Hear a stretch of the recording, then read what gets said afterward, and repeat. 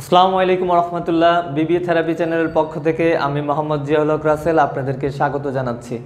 আজকে আমরা কম্বিনেশন নিয়ে আলোচনা করব। কম্বিনেশন মানে হচ্ছে সমাবেশ। তো আমরা শিখব আজকে সমাবেশ কি, উদাহরণ সহকারে এবং সমাবেশের মান কীভাবে নিরূপণ করা যায়, কীভাবে ফর্মুলা অনুযায়ী নিরূপণ করা যায় এবং কীভাবে এটা শর্টকাটে নিরূপণ করা যায়, এটা নিয়ে আমরা আজকে আমাদের ক্লাসটা সাজিয়েছি। তো দেখা যাক সমাবেশ কাকে বলে।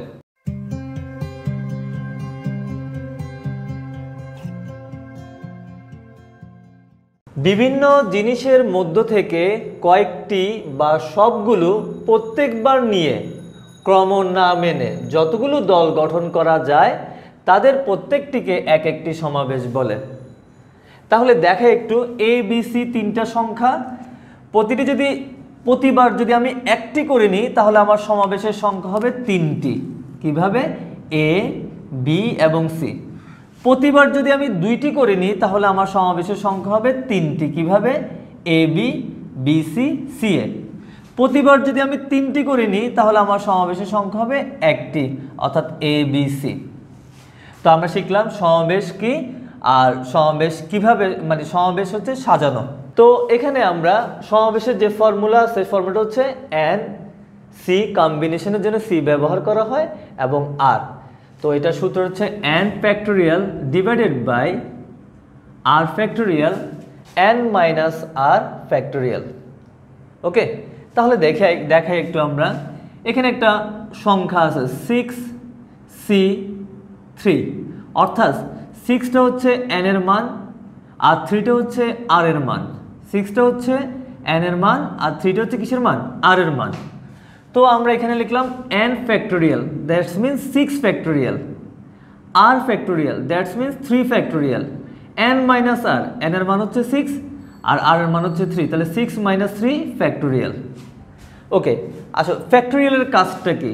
এখানে আছে সিক্স তো আমরা সিক্স থেকে ক্রমান্বয়ে পিছনের দিকে আমরা সংখ্যাগুলো লিখব, যেমন six five four three two and one শেষ পর্যন্ত, এক পর্যন্ত লিখব।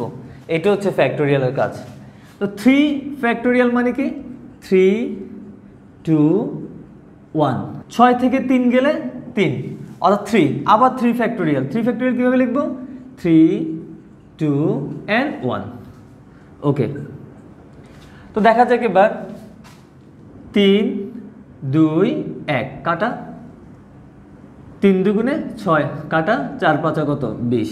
অর্থাৎ আমাদের সিক্স কম্বিনেশন থ্রির আনসার হচ্ছে টোয়েন্টি ওকে আচ্ছা। তো এখানে কীভাবে করে করলাম? প্রথমটা হচ্ছে এর মান, পরেরটা হচ্ছে আর এর মান। আমরা ফর্মুলাতে মানগুলো বসাবো। আর ফ্যাক্টোরিয়াল মানে হচ্ছে ওই সংখ্যা থেকে পিছনের দিকে এক পর্যন্ত যাবে। অর্থাৎ এখানে সিক্স ফ্যাক্টোরিয়াল ছিল, তো আমরা six five four three two one পর্যন্ত লিখছি। থ্রি ফ্যাক্টোরিয়াল ছিল three two one okay next এখন যদি আমরা সিক্স কম্বিনেশন থ্রি যদি আমরা শর্টকাট করি, তাহলে কীভাবে করে করব। এখানে হচ্ছে সিক্স এখানে হচ্ছে থ্রি আর এর মান কত? থ্রি তো আর কত? থ্রি মানে তিনটা সংখ্যা। তাহলে আমরা এখানে সিক্সের পরে তিনটে সংখ্যা লিখব। সিক্স ফাইভ ফোর আর থ্রি থ্রি টু ওয়ান অর্থাৎ আমরা যদি ফর্মুলা ইউজ না করে যদি শর্টকাট করতে চাই, তখন কি করব? তখন আর এর মান যত থাকবে, আমি সিক্স ফাইভ ফোর মানে ততবার লিখব। অর্থাৎ six five four three two one এখন যদি আমরা একটু এটা কাটাকাটি করে, তিন দুগুণে ছয় আর ছয়, চার পাঁচা বিশ। অর্থাৎ আমরা ফর্মুলাটা ব্যবহার না করেও শর্টকাট বেসিসে আমরা অঙ্কে মানটা নিরূপণ করতে পারি কম্বিনেশন বের করতে পারি। এখন দেখা যাক কম্বিনেশনে এই যে যদি আমরা এটা সলভ করি ফিফটিন সি টুয়েলভ অর্থাৎ এন এর মান ফিফটিন আর এর মান যদি টুয়েলভ হয়, তাহলে আমি যদি বারোবার লিখতে যাই, পনেরো চোদ্দ, তেরো, বারো, এগারো, এভাবে করে লিখতে অনেক বড় হয়ে যাবে। সেক্ষেত্রে আমরা আরেকটা শর্টকাট নিতে পারি, সেটা হচ্ছে এন সি আর এর আরেকটা ফর্মুলা আছে n C n minus r n minus r অর্থাৎ এন থেকে আটটা বাদ দিয়ে দিয়েও আমরা লিখতে পারি। যেমন, এখানে আছে পনেরো। এখানে আছে বারো। তো পনেরো থেকে যদি বারো বাদ দিই, তাহলে কত আসবে? থ্রি অর্থাৎ আমি ফিফটিনের পরে তিনটে সংখ্যা লিখব।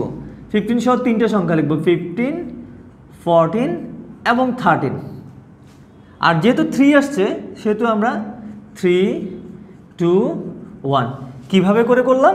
এখানে। জাস্ট এখানে। জাস্ট লাইক দ্যাট এন এর মান যদি আমরা ফিফটিন ধরি, তাহলে সি ফিফটিন মাইনাস টুয়েলভ তাহলে দাঁড়ায় কি? Fifteen C cube fifteen C three অর্থাৎ আমরা এই ফর্মুলাটা ইউজ করছি। যখন আর এর মান বড় হবে, তখন আমরা এন থেকে আটটা বাদ দিয়ে এটাকে আরেকটু শর্টকাটে নিয়ে আসতে পারি। তাহলে আমাদের আনসার কত হয় দেখি? চারশো পঞ্চান্ন। তাহলে আমাদের আনসার আছে কত? চারশো পঞ্চান্ন। তাহলে আবার আবার বলি কীভাবে করলাম? আমরা এন থেকে আর এর মানটা, অর্থাৎ এন থেকে আর এর মানটা বাদ দিয়ে দিলাম। তখন এটা হয়ে গেলো থ্রি অর্থাৎ তিনটা সংখ্যা লিখতে হবে এখন আমাদেরকে ক্রমান্বয় পিছনে। ফিফটিন ফোরটিন এবং থার্টিন আর নিচে যেহেতু তিনটা থ্রি টু ওয়ান আচ্ছা এখানে এখানে কি দেখি একটু? এন হচ্ছে টুয়েলভ আর হচ্ছে থ্রি আর এর মানটা ছোট, তত বড় না। সেক্ষেত্রে আমরা আর বিয়োগ করার দরকার নেই। সিম্পলি করে ফেলতে পারব। কীভাবে? তিন, তিনটা লিখতে হবে। যেহেতু আর এর মান থ্রি তাহলে তিনটা পর্যন্ত লিখতে হবে। বারো, এগারো এবং দশ। আর এখানে তিন, দুই এবং এক। ওকে তাহলে তিন তাহলে এটা কত হবে? তিন দুগুণে ছয় ছয় দুগুণে বারো দুই, এগারো দুগুণে কত? বাইশ, দুইশো বিশ। তো দেখা যাচ্ছে আর এর মান যখন বড় হচ্ছে আর এর মান যখন বড় হচ্ছে, তখন গিয়ে আমরা ফিফটিন থেকে টুয়েলভটা বাদ দিয়ে দিচ্ছি, অর্থাৎ এই সূত্রটা অ্যাপ্লাই করতেছি। তখন আমাদের জন্য একটু আর্লি আনসারটা বের করা মানে আনসারটা বের করা আমাদের সহজ হয়ে যাচ্ছে। কিন্তু যখন আর এর মান ছোট, তখন আমরা আর এটা অ্যাপ্লাই করার দরকার হচ্ছে না। এমনিতে তো শর্টকাট আছে সেটা। তিনটে সংখ্যা লিখতে হবে বারো, এগারো, দশ, আর তিন, দুই, এক। অর্থাৎ এটা আনসার দুইশো বিশ, এটা চারশো পঞ্চান্ন। ওকে আর কিছু জিনিস দেখাই আমরা এখানে। এন এর মান এবং আর এর মান যদি সেম হয় মানে দুইটা মানই যদি সেম হয়, যেমন এন নাইন এখানে আরও কত? নাইন এখানে এন এর মানও নাই আর এর মানও নাই। দুইটা মান যখন সেম হবে, তখন আমাদের আনসার হবে ওয়ান এটাই লিখলাম যে এন এবং আর এর মান সমান ওয়ান এন এর মান এবং আর এর মান যদি সেম হয়, তাহলে আনসার হবে ওয়ান আচ্ছা আর এর মান যদি জিরো হয়, তাহলে আনসার হবে ওয়ান যেমন, এখানে এটা হচ্ছে এন আর এটা হচ্ছে আর। এখানে আর এর মান কি? জিরো আর এর মান যদি জিরো হয়, তাহলে আনসার হবে ওয়ান জাস্ট এখানে আমরা যেটা করছিলাম এন এবং আর, দুইটাই সেম এই জন্য আনসার ওয়ান হয়েছে এখানে আর এর মান জিরো হয়েছে এই জন্য এই জন্য আনসার কত হবে? ওয়ান হবে। আচ্ছা আমরা যদি এটাকে ক্যালকুলেটর ইউজ করে করি, তখন কীভাবে করে করব। আমরা তো এখানে এটা ফর্মুলা বেসিসে দেখাইলাম, এগুলো শর্টকাট বেসিসে দেখাইলাম। আর যদি আমরা ক্যালকুলেটরটা ব্যবহার করি, তাহলে আমরা আরও ইজিলি আনসারটা বের করে ফেলতে পারব। যেমন, এখানে আছে নাইন কম্বিনেশন সেভেন অর্থাৎ এন এর মান হচ্ছে নাইন আর এর মান হচ্ছে সেভেন তখন আমরা কীভাবে করে করব? তখন অ্যাট ফার্স্টলি আমরা প্রথম এন এর মানটা লিখব ক্যালকুলেটারে প্রথমে এন দিব, তারপর শিপ দিব, তারপর যে ডিভাইডেড আছে, ওই চিহ্নের উপরে আমাদের ক্যালকুলেটারগুলোতে আমরা দেখতে পাবো এন কম্বিনেশন আর লেখা আছে। ওইটা আমরা দিব, এরপর সেভেন দিব। তারপর ইকুয়াল টু দিলে আমরা আমাদের আনসারটা পেয়ে যাব। তো এখানে আমাদের আনসারটা আসবে কত? থার্টি সিক্স যদি ক্যালকুলেটার ব্যবহার করে থাকে। আমরা শর্টকাটও করতে পারি ক্যালকুলেটার ব্যবহার করে করতে পারি। তাহলে কীভাবে করব ক্যালকুলেটার ব্যবহার করে? প্রথমে আমরা এন এর মানটা লিখব নাইন তারপর শিপ দিব। তারপর শিপ দেওয়ার পরে ভাগ চিহ্নটাতে আমরা ক্লিক করব। এরপর সেভেন দিব, এরপর ইকুয়াল দিলে আমাদের আনসারটা চলে আসবে। অর্থাৎ আমরা চাইলে এই প্রসেসে ক্যালকুলেটর ব্যবহার করেও আমরা আমাদের কম্বিনেশনের মান বের করতে পারি।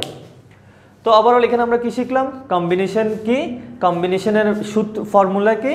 ফর্মুলা ব্যবহার করে কীভাবে কম্বিনেশনের মান নিরূপণ করা যাবে এবং কীভাবে শর্টকাট বেসিসে আমরা কম্বিনেশনের মানটা বের করতে পারব? তো কম্বিনেশনটা আমাদের বিজনেস ম্যাথমেটিক্স এবং স্ট্যাটিস্টিক্সে আমাদের দরকার হতে পারে, এই ধরনের মানগুলো নিরূপণ করা, এই জন্য এই সমাবেশের এই কাজগুলো আমাদেরকে ভালোভাবে বুঝতে হবে। আশা করি সবাই বুঝতে পেরেছি। ধন্যবাদ সবাইকে।